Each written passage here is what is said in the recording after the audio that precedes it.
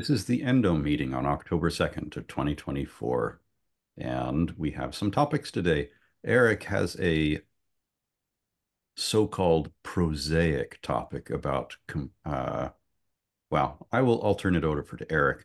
And then um, ZB wanted to have a conversation and, and with uh, me and Chris Hiller, I believe, about uh, some imp implementation details of uh, dynamic require, which I like to think of as a specific case of dynamic import in the compartment mapper, which Endomote needs in order to do, uh, in order to bring in built-in modules in Endomote. Uh, and then uh, Aaron has uh, an update on durability, which I think would kick off a great conversation. We haven't talked about Pet Daemon and durability or OCAP kernel and durability yet, and uh, it'd be really great to make some progress on that.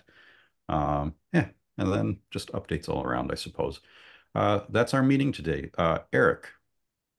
Okay. Um, the prosaic topic is error serialization. Uh, the context is uh, we are uh, implementing async iterator streams over various transport mechanisms in the uh, web setting. And uh, some of them use uh, structured clone, and so you can just send native error objects over those, and they appear on the other side uh, in the way that you'd expect. But others uh, require safely JSONifiable data. Uh, so if you send, I think, and I think actually like it uses JSON stringify. So if you pass it a native error, an empty object comes out on the other side. And but the async iterator stream interface specified in Endo uh, lists the throw method as a uh, required method. And I think uh, that seems like a good uh, convention to me. And we would like to be able to pass native errors to that. But then the question is, if it has to be serialized under the hood, is how do we serialize those errors? So I guess like in the demon or like an endo generally maybe marshall is the thing that's handling that somehow. Um and so i guess the question is should we just like use marshall directly crib something from marshall or like do something do something else? That's great. That's a great lineup. I would like to pause for a word from our sponsor chip. Would you like to tell us how to pronounce json jason right there on the first page of the standard. uh, International Phonetic Alphabet.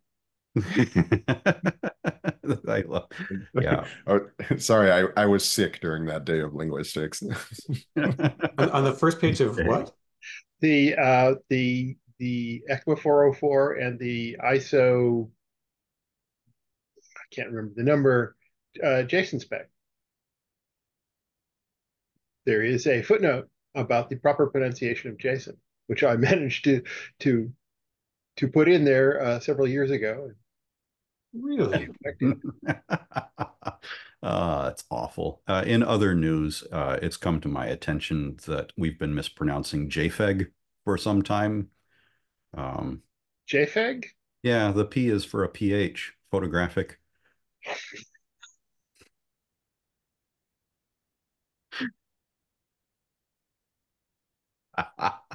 I have a photographer friend who will absolutely adore that. uh no there's nowhere you can hide. We will find you. And annoy your annoy the daylights out of you. In any case yeah back to the topic. Thank you chip. Uh uh yeah you're correct. Um errors participate in past style um, and there are some limitations on error instances when and the way that they are serialized, but that is implemented by Marshall.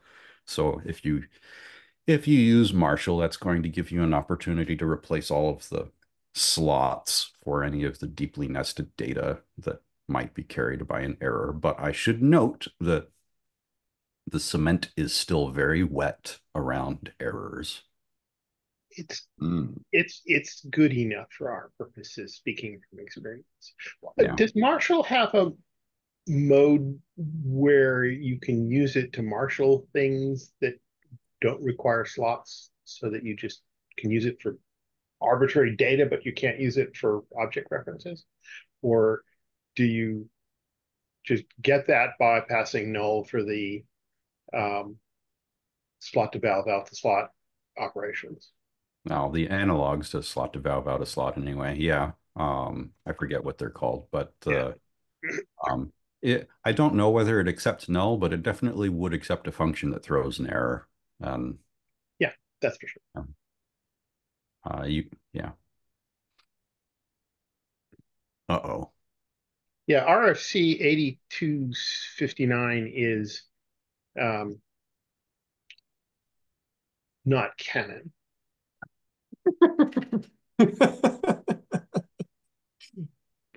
You'll have to take that up with the IETF. Yes. Although it does have a normative reference to ECMA 404. So yeah, there you go. It is uh, incorporated by reference. For those just tuning in, we're still talking about how to pronounce Jason. Um,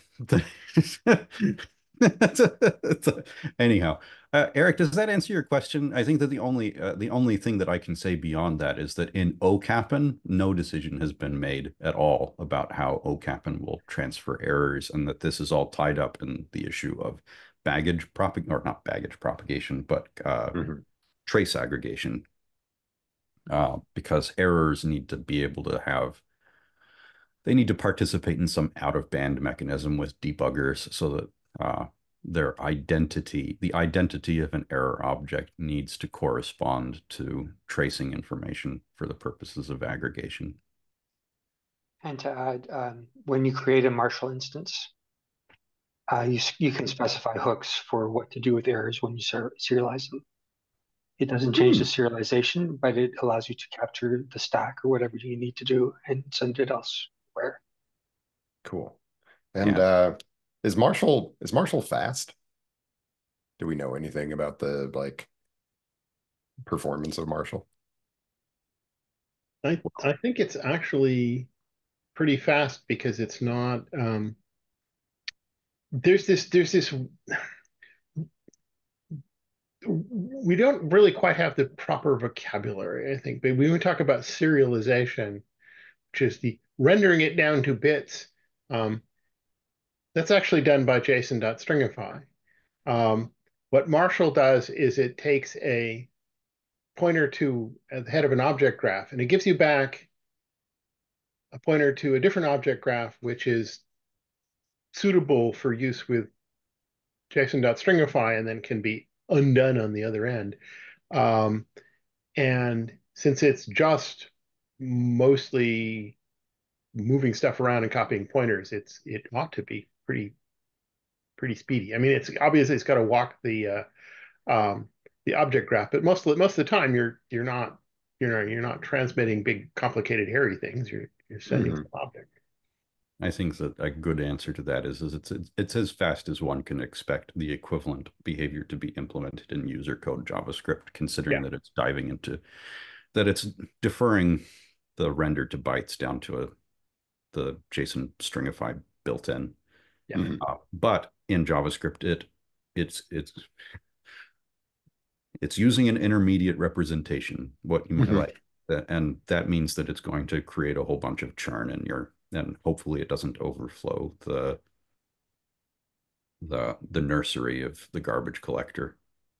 Mm-hmm. Uh, but it's, yeah, it's reasonably fast. Um, there's still room for improvement. We'll be working on it, I think. Um, probably start that work within the next three months to make it even faster, but mm. it not an issue right now that we've encountered. Cool. But um, our, our, our, round trip times on chain are like five seconds. So, mm-hmm. our, yeah. Don't, the, uh, I think when, our, yeah, don't trust our performance uh, tolerance. I think one of the big caveats is that the only things that you can marshal are hardened objects. Uh, right, and, and, they and need so to be pass style. That's that's part of the um, the room for improvement is that marshaling encompasses pass style checks. Hmm. The and final question, uh, is there a way to pass the intermediate representation or to just like skip the stringification and just grab oh, the absolutely. If you use if you use Marshall directly, you get the IR. Um, and you can do whatever what you want with that. Cool. Uh, including including sending it via structured clone. Uh, because uh, if it can be safely stringified, we can also safely just pass the uh, IR uh, over the wire. Mm -hmm. Yeah, your your WebSocket, your message. our our wires uh, in our context, right. anyway. yeah, yeah, yeah, yeah.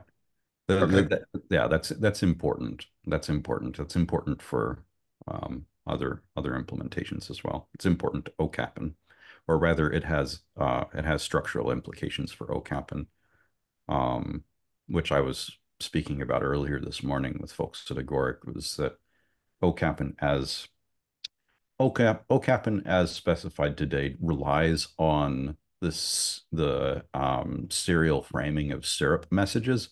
They're just you get a syrup message and when you get the end to the end of a syrup message you're expecting the next syrup message etc so there isn't an outer frame um, which means that you have to have a streaming implementation on some systems and if you're trying to haul that over if you're trying to haul syrup over WebSocket, you're going to do something else with a different syrup implementation, and that's a bit annoying. Yeah. Well, uh, I think that does it for the uh, prosaic component of our agenda today. Uh, thanks. Cool. Um, ZB or Aaron, do you want to flip a coin? Or just charge ahead, ZB, if you wish. Yeah, go ZB. All right, let's try to make this quick. Uh, so oh, one moment.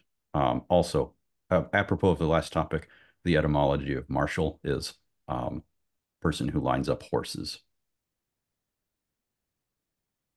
So, like, there's etymologically not much difference between serialization and marshaling. We're we're begging a distinction that doesn't exist in the meanings of the words. Interesting.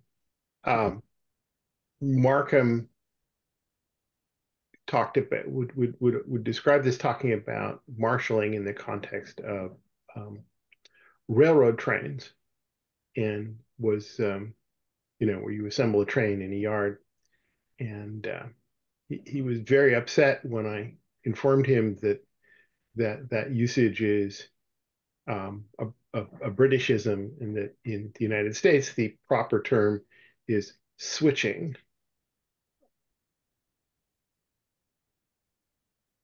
Nice. All right zb go.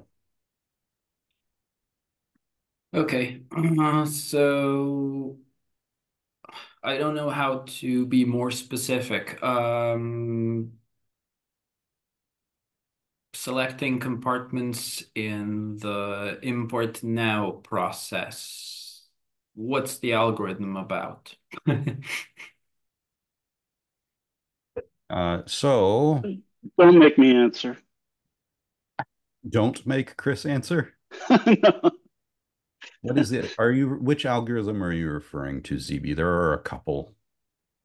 Yeah, so you left a comment. Please take a look at Chris's new algorithm with the pre-computed compartments set. Uh, and that's a fix for something being suboptimal when called multiple times at runtime, which is nice to improve. So uh, Actually, I can there... I can explain. I can explain. So, all right. So you know when we wrote that thing uh, originally, I had these these loops. Um, first, there was an outer loop, and I'll talk about that in a second. But the inner loops, they look for stuff in the the scope property of all the compartment descriptors yeah. to make the uh, establish that there's a relationship between the two, and that is just yeah. like we were iterating over all the scopes, over all the, um, and then like like digging into them and uh, doing a map and all this stuff. We were just like doing way too much work um, because it would have to happen multiple times for you know, potentially every if if there's a whole lot of things that uh, happen to be um, dynamically dynamically required via an absolute path in your in your app or whatever, that's going to happen a lot. And mm-hmm. so um, Chris suggested that instead of that, what we can do is actually just stuff the data that we need onto the compartment descriptor when we're building the compartment descriptors. So we're doing that in the node module module um, mm-hmm. and building up the compartment descriptors. And then there we just, um, we, we add a property called compartments, which is a set of uh, all the related compartments, uh, essentially. Um, okay. And so we can just that's that's a constant lookup, and so we can just look look that up instead of doing all these loops. Then the second part is um, uh, originally what we were doing was. Can I interject um, here? Go ahead. Before go we ahead. go to the next loop. Um, yes. I remember looking at those loops and suggesting we could save some iteration by narrowing it down to only things allowed by policy anyway. So I, I guess that uh, transfers to the current implementation in node modules or in the next pass of processing the compartment map uh, where we take policy into account anyway, we could narrow down the pre-generated list of compartments now, which I I accept uh, again uh, might be a premature optimization, but now that this is merged, we could consider it. That sounds good to me. Having yeah. filtering the compartment set to those that are intended to be reachable by policy as um as a uh, an effect of applying policy seems to makes a lot of sense to me.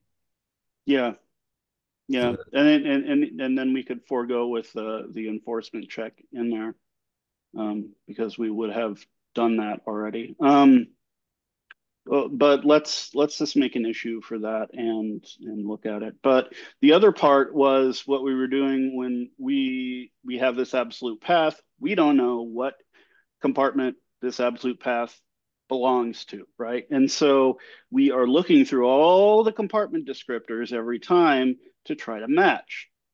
And you may have a lot of compartment descriptors. And so what Chris suggested was, well, whatever we are going to um, require is going to be somewhere in the um, in the the okay. First off, we're guaranteed an absolute path, and that is a file URL. And so we can use that file file URL to crawl up the file system um, to find the um, the uh, the compartment uh, thing we're yeah the compartment we're looking for.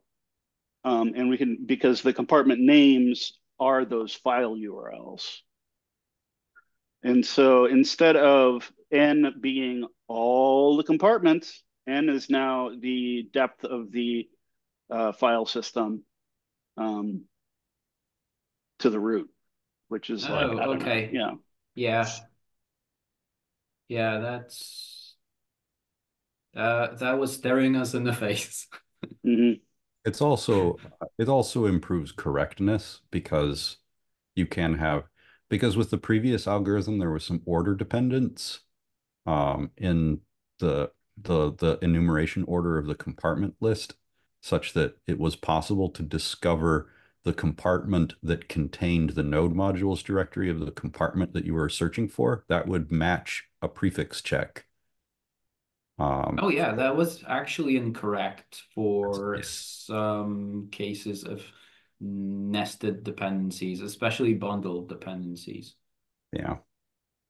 So this uh so the so we fix fix the performance and correctness of the algorithm by going back to um, searching um, searching for the the longest matching compartment prefix.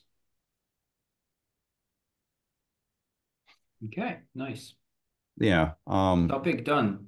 yeah, and then, then then also a comment that you made on the on the PR was uh, that uh, I had made a point that there's a weak correspondence between the name of a dependency and the dependencies object and the name, the self-ascribed name of the package in the package JSON.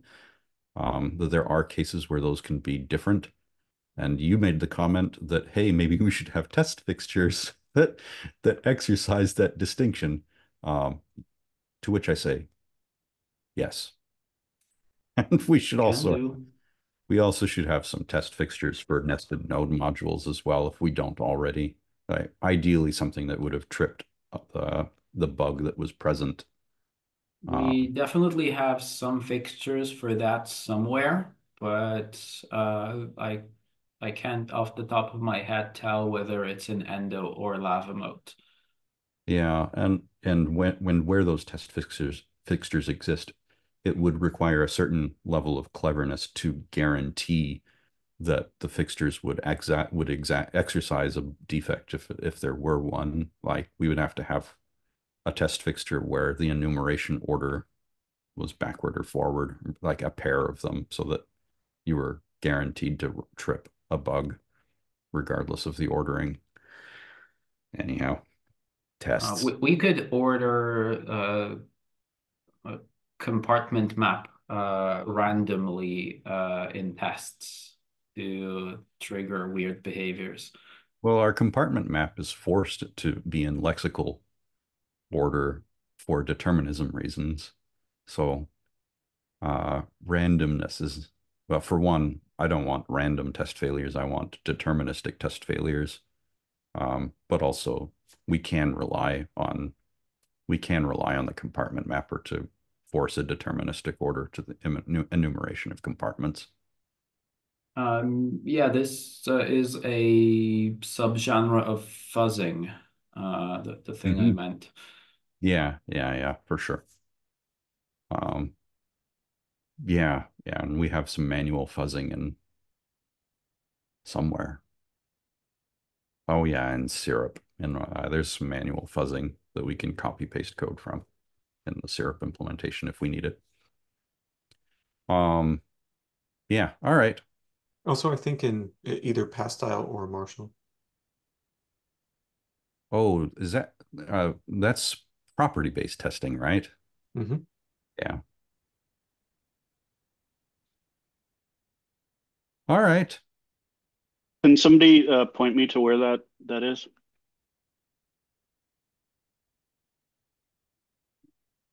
I don't know where it is. I will find it. Okay. Um, yeah, drop that in hardened MetaMask. I'll I'll look at it as well.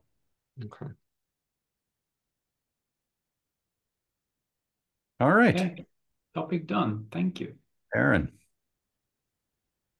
Cool. I'm going to give an update on gems. Uh, can you see my screen okay? It's a little small, but it is legible. It is small? Okay. I thought it was already gigantic. Uh, yeah. That's, yeah, we'll be fine. It'll do? Okay. Um, okay, cool. So I'm going to give an update on GEMS. GEMS is this uh, experiment of what if we, uh, what DevX do we get when we build an OCAP kernel on top of uh, the durable durable zones in Agoric SDK. Um, I talked about the, uh, I, I think I presented the external reference controller last week um, and the first draft of it. And what the external reference controller does is it provides durability to remote presences, like the kind you get over CapTP. Um, though it was very hacky, it, and because I mentioned them last time, I'll just mention them again. Uh, but these have since been fixed. So in the previous version, there was uh, you had to communicate with the external reference controller on the other side. So that had to be part of the bootstrap. don't need to do that anymore. There was a, a period where the persistence wasn't actually working correctly immediately after you tried to persist it. That's not true anymore. Um, and then when you put something in storage and pulled it back out, you got a promise instead of getting the presence itself. And that's not true anymore. Um, and the advantage of the previous version that had all those issues is that it didn't require any changes to CapTP. But with the help of Michael Fig, I made some yet unmerged changes to CapTP um, that uh, fix all those problems. Um, so additionally, I extended the, ex uh, the external reference controller to handle uh, lazy CapTP connections and reconnections. Um, so you can, as I'll demonstrate in a moment, um, and this can unlock uh, lazy and sleepy vats. Um, so I'll explain what that means. So uh, I would like to, you know, the, the effort here can be summarized by this little test on the left. Um, we do all this magical wiring to uh, set up the way we connect Alice and Bob. Uh, we get Alice's CapTP object. We request the remote bootstrap for Bob. We've already set up uh, Bob to have this specific facet here, which is a uh, durable uh, class uh, with this implementation here. Um, and so then, as you'd expect, we can ping across uh, this network boundary to, to Bob, and then we can force a disconnection of CapTP. And then reusing Bob, it will restart that connection, that CapTP connection. Um, so not only are these presences um, durable, which is not demonstrated here, uh, these presences uh, have can have a life cycle longer than the CapTP connection. Normally, when you disconnect CapTP, uh, any further usage of that presence will fail. Um, and but here it is uh, has the wiring inside of it in order to re-request a, uh, a connection. And in fact, it will not, you know, if you put this in storage and then you pull it out, it will not um, request a connection to the other side uh, until it's used. So it's it's very lazy in requiring its connectivity, and uh, it is not fragile to its connectivity. So if you if there's an intermittent network error between two remote hosts, um, this it does not make this facet fr fragile. Um, okay, so we can look at the so yeah, this is based on the new version of external reference controller. Um, May I ask some orienting questions? Yeah, absolutely. Um, if we can go look back at the test. Uh, if we were to reframe this so that Bob had some durable state, like if Bob were a counter example. Yeah. Um,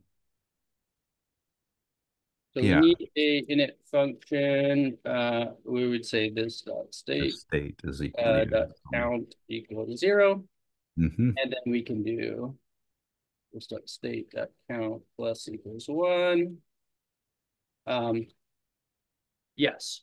So. And then presumably return this state count minus one. um, this will, uh, yeah, so this test does not show persistence. It doesn't show VAT restarts. Um, but this state would be persistent both across VAT restarts and, of course, uh, uh, across uh, CapTP restarts. Um, the only thing I'm demonstrating here is CapTP restarts. I'm I'm I'm somewhat confused. Where does where where does Bob actually live? So in this demo, I, ideally this demo would be, or this test would be demonstrated via two separate processes, but here it is inside of one process and they are uh, uh, this uh, this make con reconnecting CapTP is just a test utility. Um, but I am creating two separate zones uh, and then exposing them to each other. Right. So the piece, the piece of the puzzle that I'm not following is uh, when Bob is persisted, Bob is persisted um, under an identifier. And when Bob is passed over the wire via CapTP, um, an identifier is created. That's what goes in the in the slots. Um, and there is for for CapTP connection, there is what essentially amounts to a, an allocation counter for generating new IDs as they are needed um, as as objects are exported over the wire, object references are exported over the wire, and then when the CapTP connection goes away, you create a new CapTP connection that ends up resetting that counter. So how does the identity of Bob persist across the uh, the breaking and reestablishment of the connection. Yeah, I take yeah, a guess before Aaron answers. My my guess is that this CAPTP connection is a special kind of CAPTP connection, which creates a durability membrane where all references are durable. Um, and, so and only did... durable objects can pass through the membrane. Is that right? Um, yes, let me show you what I have there. Um, so you create this thing called the external reference controller, and here is how it uh, wants you to configure CapTP in order to work. Um, I've created a few new hooks in um, in CapTP. Um, it, there is this on before import hook. This is similar to the uh, import hook, which currently exists, except that it allows you to specify the presence you want to use when a new slot is encountered, when a new slot is imported. Um, there is the on before export hook, which is when this is when you're sending a value across CapTP. Uh, for the first time, there's this new value. This allows you to specify the slot for it. And an implication here is that the slot you provide can't interfere with the incrementing slot that uh, CapTP internally uses. Um, but if you're here, we're we're overriding every slot, I think, so that internally doesn't use slots. Um, eh, I, I need to verify that statement. However, um, I know that the slots that I'm using are not conflicting with CapTPs internally. Um, the there's also a new hook for the missing export hook. Um, this is when you've uh, restarted a cap. So the cap CapTP has internally its own import export tables.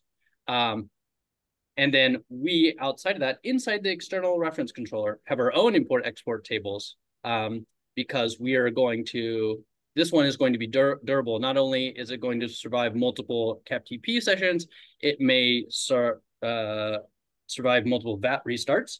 Um, so we have our own durable import export tables. Um, and so CapTP might be like, hey, on the other side, it told me uh, it was referencing this exported slot, but I don't have a slot there in my export table. So here we can fill in the, the external uh, export table. So this missing export hook allows the external reference controller to say like, oh yes, here is the value that you have exported here. Slot. Additionally, there's the G GC hook, which is when the other side of the CapTP connection says you no longer need this export, uh, you can clear it from the table. And so we use that to also not just remove it from the CapTP sessions export table, but also from the external reference controllers export table. Um, and so this is how we achieve uh, a sort of a durable CapTP session on top of the normal CapTP session. I'm just I'm just wondering if you could if you could wrap it as something that and this may be in fact what you're actually doing and I'm just not following completely. Um, have have what in essence amounts to a a um, durable CapTP connection, uh, and it just looks like a CapTP connection for everything it's expecting to use. Uh, yeah, I, I, would say that's what's uh, achieved here with minimal, you know, by layering on top of the CapTP implementation with just adding a few hooks. We could push this all the way into the CapTP implementation. Um, but this is the way. Well, I, I, yeah, I don't even know if it has to go into the CapTP implementation per se, although there might be value in that once it's all all the you know once it's all shaken down. Um, um, I'm just thinking that it could be, um, uh, uh you know, a, a substitutable replacement in all of the places that you're using a CapTP connection, and that would um, that would have that would be very interesting. Yeah, I think I think that's pretty much what I have here. Um, yeah. In addition to these new hooks that I've introduced, there's a couple more um, things that need to happen that don't happen in hooks. One, there is a so wrap is making this hard to read. There is a a couple new methods um, uh, there's import slot. I ended up uh, using this and then removing it. So this may not need to be part of the, the change to CapTP, um, but it allows you to say, hey, uh, give me, I know you, you haven't set this up yet, but I want a new presence for this slot. I want you to register this as an import. Um, so this is just getting CapTP to prepare a presence for you. For you. Um, I ended up not needing this in this later version of external reference controller, so this may not be necessary. Um, there's also this export value, which is saying, hey, I have this value in this slot, and I want you to put it in your export table. Um, is this is kind of like the the missing export hook. Um, the and then there is a method internal CapTP, which I've now exposed, and this is the make remote kit. And this is uh, creates a presence, um, a handled promise for communicating with um, the remote slot given a slot, but it doesn't register it as the presence for the table. And so I use this in the delegate presence, which I'll, I'll show in a moment. Um, the so the external reference controller implementation um, uses uh, uh, this thing I'm calling a presence controller, and it's just its job is you say, hey, I want a presence for this slot. Um, and the reason why I kicked this out of the external reference controller implementation is so that I can have, um, if I just want durable CapTP presences, the implementation looks one way. And then if I want to have these presences that, you know, lazily kick off a CapTP connection, the implementation looks different again. Um, so that's uh, different types of presence controller um, provide that. Um, here's the simple one. It just, you know, uh, requests CapTP to get the, it ma makes a presence for the, the slot from the CapTP. Um, the reconnecting one creates Stop a sharing your Hmm? screen. I did. Yep. I still see your screen. I don't. That's weird. Did I pause it or something? Can you Oh, see the no. make presence for Okay, slot? no, it's all I- good. Okay, Keep no, going. this is just a uh, this is this is feature creep in Zoom. Never mind. Carry on. No problem. Okay, so this is the other kind of, this is the more complicated presence controller that uh, enables the like reconnection of CapTP or the lazy connection of CapTP. And so you just give it a, a means of establishing that connection. And for the presence, it uses uh, this eventual factory delegate, um, which looks like this. It is a handled promise that uh, just reapplies all its things. Uh, so whenever you call a method or something on it, it will re-request its target every time an action happens on it, and then forward that. And so here, uh, here is our like re-request of the target, and it's basically saying, do I have a do I have an active presence for this CapTP connection? And if I don't, make one. Um, and so it uses it uh it will forward to the current um connection and it'll wait for there to be a connection if there's one. Okay, so that's what enables the um the the reconnecting and the lazy connecting. Um, and so the idea there, the reason why I pursued that is so um, you could durably have a reference to an object in a vat that isn't even on. And so we could like not start the vat, or we can put the vat to sleep, and you can still hold that reference, pass it around, do whatever you want to do it, and not until you actually, you know, call a method on it, does it go and wake up that thing. Um, Hmm. So that's what that uh, machinery looked like. Um, additionally, working with the durable zone stuff, um, uh, I use exos in, in a lot of places. And then I also am experimenting with using non-exos because exos are, are rather opinionated. Um, and so I made this make custom durable kind uh, methods of different kinds. Uh, and you basically specify a make function, a reanimate function, and a cleanup function. And it handles um, setting an ID and informing the um, VOM kit that this thing needs to be um, uh, persisted in is persisted in this way and associated with the slot and that sort of thing. Um, and then, yeah, so I have a few different versions of these. There's one that gives you a uh, a proxy object, which is backed by a map store, and you can remove and delete um, things from it. So it makes upgrades uh, straightforward, I guess. Um, one, so I don't have anything really to show off here. I'm just saying I'm experimenting with with different ways of of making durable objects and trying to figure out what actually is nice to work with. The the um one question I have, uh, starting with VomKit, uh, is that we we're providing um so the, the make is when you're making a new one for the first time. Reanimating is when something's brought out of memory and you want to bring it back into memory. And then cleanup is when it's been deleted, when it no longer exists. But it seems like there's a missing lifecycle method for when something is being brought out of memory. And so I wanted to ask Chip about that, I suppose. Um, I'm not sure I follow. Yeah, so when you have a um, an, a VomKit aware object. Um, it can be in memory. It can be on disk, which I guess means virtual, um, or it can be, it could not exist.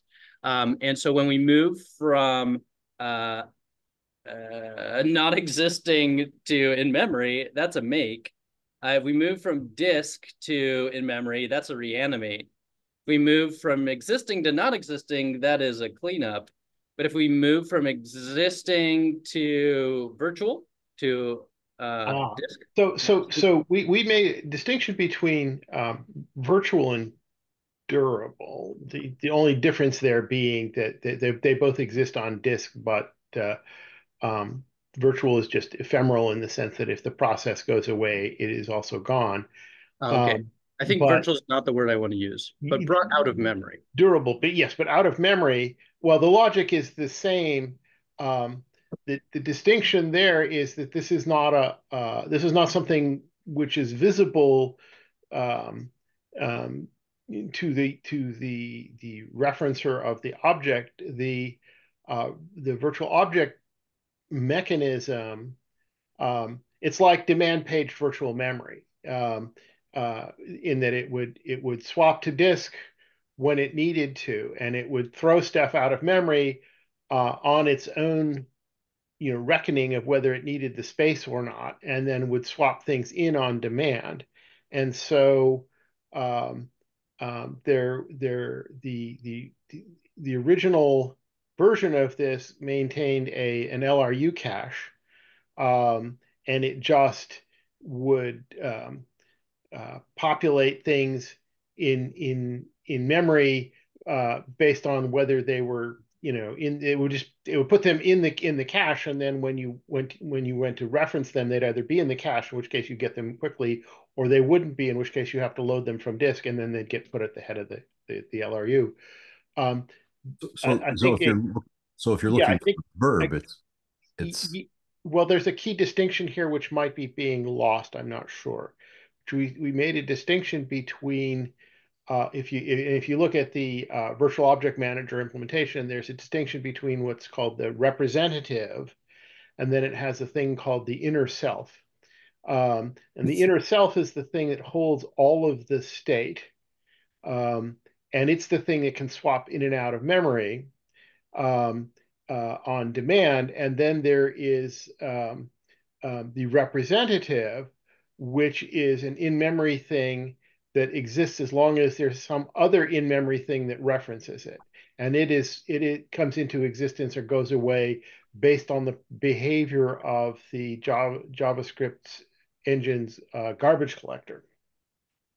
Um, and um, and so if what you have is a is a um, a, a reference, which is just say a slot, i.e., you know the reference you have a reference to a durable object which exists in your world but nobody in your memory is currently pointing to it then there is no representative. And then say somebody sends you a message containing a, a, a reference to that. Now there needs to be an in-memory representative and so one is created but it can just be created anew because since by definition there wasn't anybody else in your memory space that had a pointer to it uh, you can do that um, and so there's always, as long as anybody in memory is referring to the object, there's this little stub object that that that that is the representative that will always be there. Whereas okay, the, the that, whereas that the inner sense. self is the thing that that that that would uh, fall in and out on on an LRU basis, which could be potentially uh, arbitrarily sized, that actually holds the the state of the object, you know, all of its properties and so forth. Um, okay, yes, that makes sense to me, especially in the case of exos. I have been kind of hacking on top of VomKit without really understanding how it works underneath. And um, I don't think I've set, I don't think I have like a representative versus inner self. Um, yeah, no, that's a completely, that's an internal implementation detail within the virtual object manager. You should never see that. Uh, yes, however, of, because I'm, of, sorry, because I'm defining durable kinds, I'm a custom durable kinds and not using exos, I think I am interacting with this layer a little bit but I've failed to create this distinction, I believe. And the currently I'm using the both VRM register kind um, and um, uh, fake stuff register entry uh, in order to make my custom classes. Yeah, I, I think that's, yes, you are interacting with those things. Um, uh, most of my deep understanding of this, which is which is quite old and therefore possibly quite stale, uh, predates the existence of exos um, because we didn't have those when we we did this. That that got layered on later, um, and so my mental model is is still pretty mired in the pre-exo world. So I'm not sure what um, additional complications, if any, exos have introduced on this, or they just layer on top of the the the the, the VOM API uh, as is. I, I think they do, but but okay. Um, I will. I wouldn't be surprised if in my implementations here, I'm not making a distinction between representative and inner self, and so I'm keeping these well, things in memory. I yeah, may just be using these things wrong. Yeah, as I say, from from from the perspective of your world, that is not a st- distinction which should be in any way visible to you. Um, and um, because it should be purely an internal implementation detail within the object manager, virtual object manager. Um, um, uh, I don't, as I say, I don't know if Exos have modified that that story, but I don't think they have. Um, I uh, the, the the thing is, is VOM is also in bed with the garbage collector in ways that you you that should be transparent to you. Right. Yeah. Uh, I was yeah I was just wondering if there's that missing lifecycle hook since I'm you know per, uh for you know um for these custom implementations though I I, I don't actually have a need for it getting moved out of memory. Um, but I guess I could foresee one. Um, yeah, yeah. I think uh, uh, uh, uh, I suspect. Um, as I say, I, I suspect that that that is that is that is transparent from from your perspective, and and therefore you you wouldn't need it because it wouldn't be a thing that that that reflects any distinction that you can you can perceive. Um, it would be something like a post eviction notification, right? Be like the uh, virtual it, object it, managers that just informs you this is the ID of the thing that's no longer. Yeah, I mean, the thing that's a little weird here is you're now in a world where you're managing the IDs yourself. And um, mm. yeah, that makes it difficult to, to yeah, that makes it which, which, which is, which is the a, a piece of the puzzle that I'm I'm not quite wrapping my head around. I mean, one of the things that's really interesting about this is um, the, the stuff that that that you were showing us earlier reminds me of a, a thing I did um, some years ago when I was working in with mobile games, where we had the problem of uh, interacting with an object over the network, and you walk out of the range of, say, your local uh, uh, wireless access point and suddenly your device has a different IP address than it had before. And, and so uh, you would like to have the illusion of a continuous connection. And so I built a layer on top of TCP, which I called resumable TCP, which, which allowed, allowed you to have what looked like a, a, a, durable connection, even though the underlying connections that made it up were ephemeral. The interesting thing that what you've done introduces is the ability to make that reconnection uh, lazy based on um, whether you actually need to interact with the thing or not. And um, um, that's really interesting. Um, I don't know.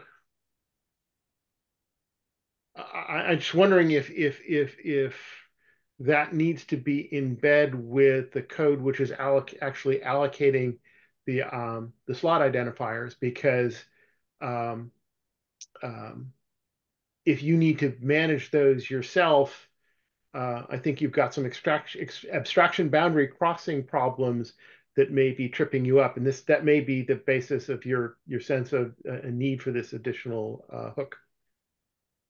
Oh, uh, the what I presented with the external reference controller and what I'm showing now with the custom kinds, custom durable kinds, they are separate.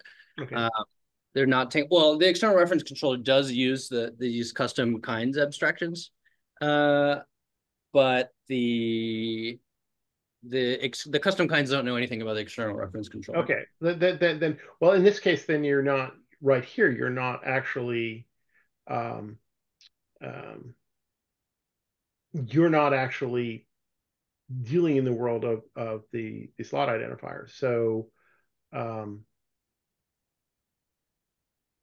I think this implementation was mostly copied based on the EXO uh, implementation. Right. Um, and the you know the instances are stored. You know, we we uh, set up a uh, bit from a zone. We set up a couple of we set up a store um, where we keep track of we store the kind ID, so we only ever generate a kind ID, and the kind ID comes from the VRM, and then um, we also keep track of the next instance ID, which starts at zero. No, starts at one. Um, and so those are in durable stores. And so those always mm -hmm. based on durable stores. Hmm. Um, well, in any case, like, um, next steps, like how would we integrate something like this and what would its operational character be? And all of those things are interesting.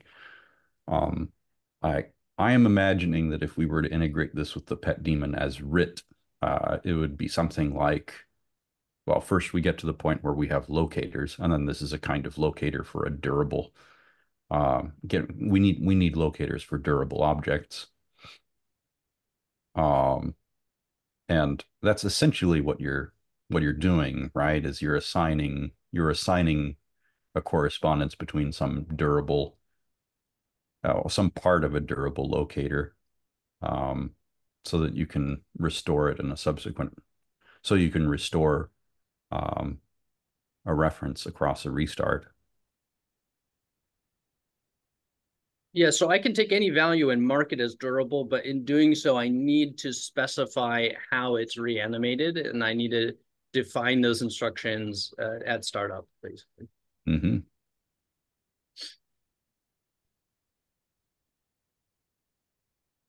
Um, and then yeah, with the changes made to cap, the proposed changes for CapTP, I can um, like load things into the CapTP as export tables. Um, so I can I can set up my own uh, presences that last multiple CapTP sessions. I can mark them as durable and you know tell the system how to recreate them. Um, and then I just need to like get them into CapTP's table, and then I get yeah. Yeah. So in, in, an important consideration is that your CapTP needs to be able to do both durable and ephemeral references through the the reconnected membrane. Um, uh, yes, and, actually, this is my final question. I know we're like over, uh, but my, my final question is like, so right now I'm requiring everything that passes over CapTP to either be copy data or durable. And I don't allow non-durable stuff to go across. And the I like this restriction because it means that anything you get over, you can put in storage. And that is really straightforward. Um, however, uh, if you have little ephemeral useful things like iterators and things like that, um, you know, those are nice to hand over, and it's kind of annoying to create a bunch of machine machinery around them and to not use the native uh, JavaScript syntax or or like need to like layer on. By the way, this is how I created this iterator, and this is how you can recreate it if it ever needs to be used again, even though I'm only going to use it for 30 seconds. Um, that that kind of stuff would be annoying, maybe. Yeah, I mean, I, I, I mean, it feels like what you're having to do is is to recapitulate a bunch of the machinery which already exists at the next layer down, so that you can have control over bits of it. Um, um, and and uh, one way is to have have hooks that let you have control over bits of it, and the other would be to um, uh, to simply make the the the next layer down uh, uh, able to deal with these these abstractions directly, um, and then be able to repurpose all of that existing mechanism um, in place, um, uh, which which might be um, uh, might be considerably simpler from a, a user's perspective. Uh, the the what, what it, in doing so, I would want to preserve the ability to by default have ephemeral CapTP sessions without entraining a requirement that all CapTC, CapTP sessions be well, it, that's exactly right. Just as the current virtual object system can have, um, you know, virtual and durable objects, and uh, durable objects are not allowed to refer to virtual objects, but virtual objects can refer to durable objects the, the, the complication here is you'd kind of like to multiplex this could be durable, could be virtual relationship over a distinction over a single underlying uh, communications link rather than having to have two different channels, one which works one way and one which works the other. And that's that is a, a piece that I can't quite wrap my head around yet.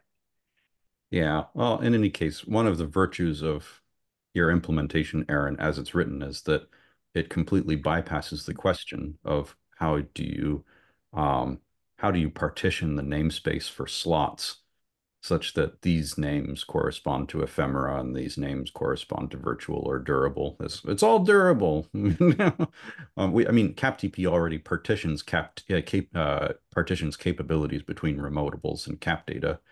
Um, but uh, I could see wanting I, I, I it, it is it is a concern of CapTP to ensure that there are not collisions between these namespaces. So I, I can imagine subsuming that concern into CapTP proper. Um, and there might be a way to do that without conflating um, a dependency on virtual and dur durable implementations. Yeah, I mean the the the, the existing um, uh, virtual object manager, I think I think already makes a distinction in in the form of the the object reference uh, that gets um, that gets serialized, and so um, it it really feels like you ought to just be able to repurpose that same mechanism, but um, thinking about how exactly how you do that uh, over a, a, network connection, it, it's one of those sort of slippery things that that that feels like it makes sense you know, in a hand wavy kind of level, but then it kind of slips away when you try to actually pin it down. And I think uh, I think one of the one of the things here is this code. Um, I think is doing a lot of the exploratory work that we need in order to understand how, actually how to pin that down.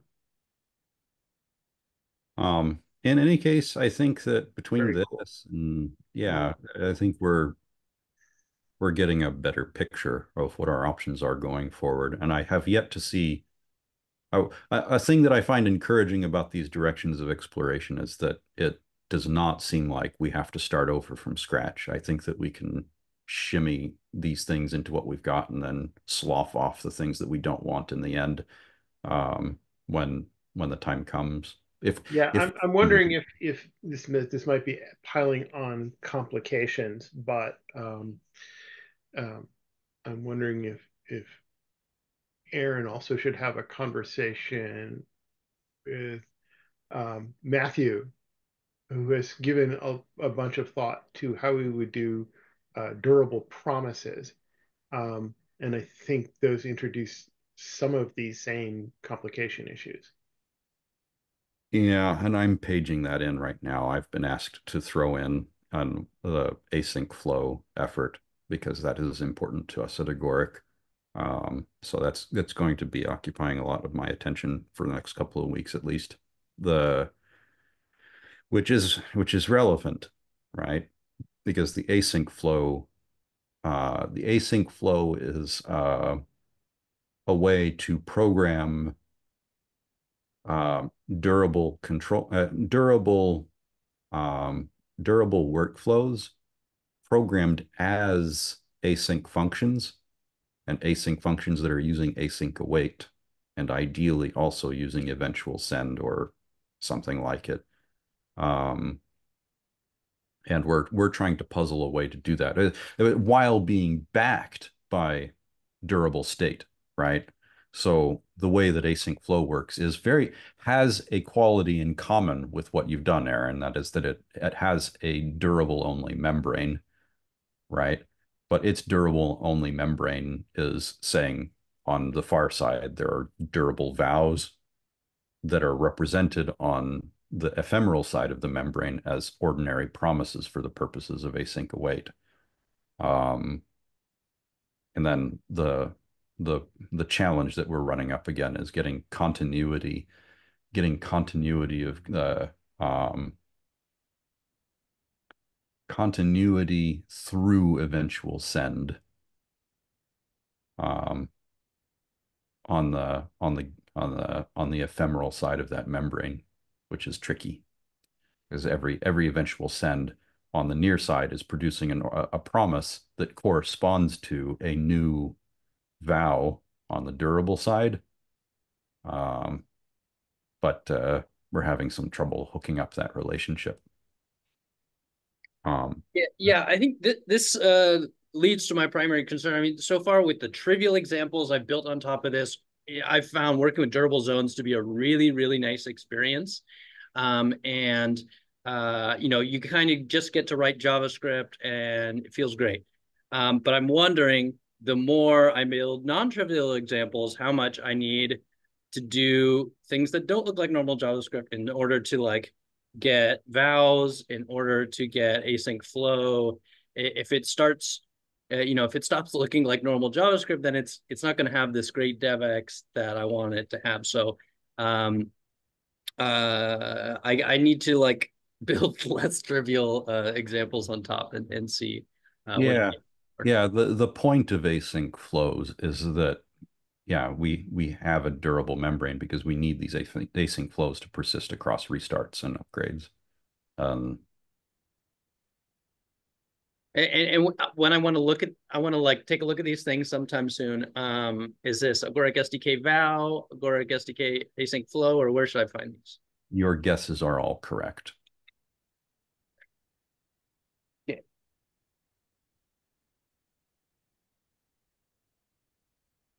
Awesome.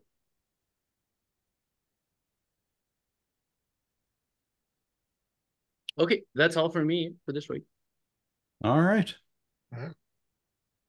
I'm going to stop the recording. Thank you.